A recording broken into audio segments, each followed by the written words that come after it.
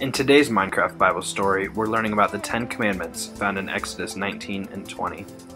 Moses went up to Mount Sinai to meet with God, and there God gave him the Ten Commandments. These commandments were You shall have no other gods before me. You shall not make idols or graven images. You shall not take the Lord's name in vain. Remember the Sabbath day and keep it holy. Honor your mother and father. You shall not murder. You shall not commit adultery. You shall not steal. You shall not lie. And you shall not covet. God didn't give us these commandments as a list of rules. Instead, He gave us these commandments so that we could have a better relationship with Him.